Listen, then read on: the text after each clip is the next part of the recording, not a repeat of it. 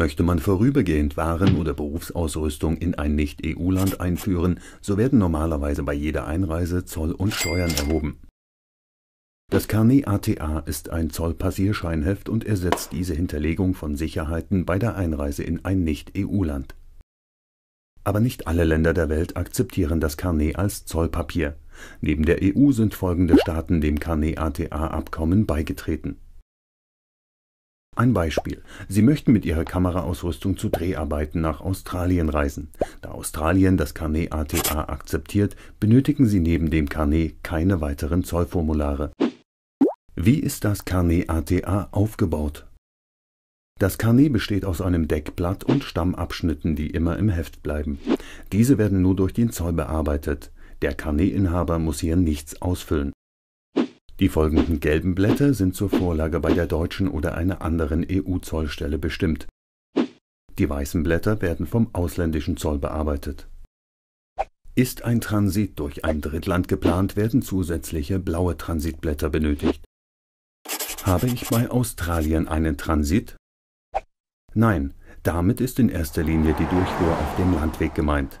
Es sei denn, man hat einen Flug mit einer Zwischenlandung gebucht und will das Flughafengelände verlassen oder das Reiseland selbst verlangt zusätzliche Transitblätter. Hier berät sie die IHK gern im Einzelfall. Wie fülle ich das Carnet aus? Bitte füllen Sie das Carnet grundsätzlich nicht per Hand aus. Zuerst füllen Sie den Carnetantrag aus, dieser verbleibt bei der IHK und beinhaltet die Angaben zur Firma oder zur Person. Mit dem Antrag beantragen Sie zunächst das Dokument selbst. Hinzu kommt eine Zollrisikoversicherung, die die Barhinterlegung von Zoll und Steuern im Ausland abdeckt.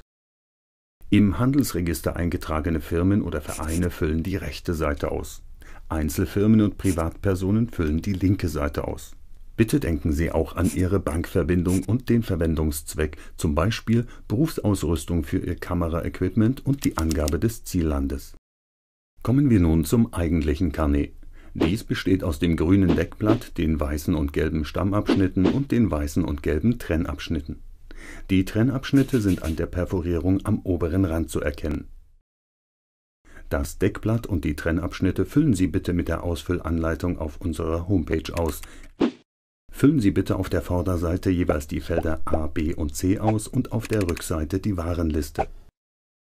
Das Feld A beinhaltet den Namen und die Anschrift des Carnetinhabers, also der Person, die das Carnet bei der IHK beantragt und die rechtliche Verantwortung übernimmt. Im Feld B wird Vollmacht und der Name des Reisenden, soweit er bekannt ist, eingetragen das Feld C sagt etwas über den Zweck der Reise aus, zum Beispiel Messeware, Warenmuster oder Berufsausrüstung. Anschließend unterschreiben Sie das Formular unten rechts im Feld J. Auf der Rückseite in der ersten Spalte der Warenliste zählen Sie bitte die einzelnen Positionen durch. Am Ende muss die letzte laufende Nummer mit der Stückzahl in der dritten Spalte übereinstimmen. In die zweite Spalte tragen Sie die Ware ein. Bitte sichtbare Seriennummern auf technischen Geräten mit angeben. Ansonsten sollte die Ware so genau wie möglich beschrieben werden, um den Zoll die Möglichkeit zur eindeutigen Identifizierung zu geben. In der vierten Spalte wird das Gewicht in Gramm oder Kilogramm angegeben. In der fünften Spalte der Zollwert der Ware, Zeitwert ohne Mehrwertsteuer. In die sechste Spalte tragen Sie den ISO-Ländercode des Ursprungslandes ein. Diesen finden Sie auf der Rückseite des blauen Hinweiszettels des Formularsatzes. Sollte der Platz der Rückseite für die komplette Warenliste nicht ausreichen, verwenden Sie bitte die Zusatzblätter in den entsprechenden Farben, die Sie bei der IHK erhalten. Erstellen Sie die Warenliste möglichst in der Landessprache für Australien, also in Englisch. Bei komplizierten Warenbeschreibungen empfiehlt sich eine deutsche Version für den deutschen Zoll. Gern beraten wir Sie, welche Sprache für Ihr Reiseland verlangt wird. Die Stammabschnitte sehen anders aus als die Trennabschnitte. Hier muss nichts ausgefüllt werden. Und wenn ich das alles gemacht habe, gehe ich zur IHK? Ja, gern können Sie die Warenliste vorab per E-Mail an uns senden. Das empfiehlt sich besonders, wenn Sie das erste Mal ein Carnet ausfüllen. Wir schauen dann kurz drüber und geben Ihnen gegebenenfalls noch Tipps für Änderungen. Wenn alles in Ordnung ist, bedrucken Sie bitte den gesamten Formularsatz entsprechend und reichen Sie ihn zur Bearbeitung bei uns ein. Wann bekomme ich das ausgestellte Karnet und was muss ich danach noch tun? Für die Ausstellung benötigen wir normalerweise einen bis zwei Tage. Es kann natürlich sein, dass man ein Karnet innerhalb einiger Stunden benötigt. Das ist im Ausnahmefall auch möglich. Fragen Sie einfach nach. Die Gebühr für die Ausstellung ist abhängig vom eingetragenen Warenwert.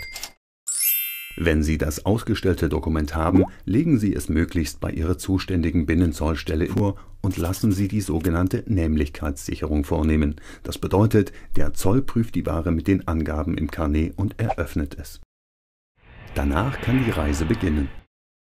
Bei der Ausreise aus der Europäischen Union wird das Dokument vom Zoll abgefertigt, ebenso bei der Einreise in Australien und dann wieder in umgekehrter Reihenfolge bei der Rückreise. Achten Sie bitte beim Zoll darauf, dass die richtige Anzahl der Warenpositionen entsprechend der laufenden Nummer eingetragen wird und dass die Wiederausfuhrfrist ausreichend für Ihren Aufenthalt ist. Wenn Sie das Karnet, das ein Jahr gültig ist, nicht mehr für weitere Reisen benötigen, bekommt es die IHK zurück.